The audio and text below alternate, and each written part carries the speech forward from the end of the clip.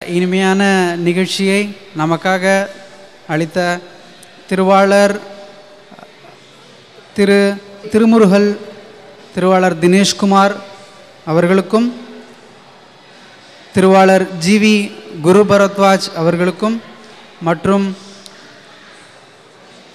திருவாளர் இ தேவராஜ் அவர்களுக்கும் ஆர்எம்கேவின் சார்பாக எங்களுடைய மனமார்ந்த நன்றியை தெரிவித்துக் கொள்கிறோம் நன்றி வணக்கம்.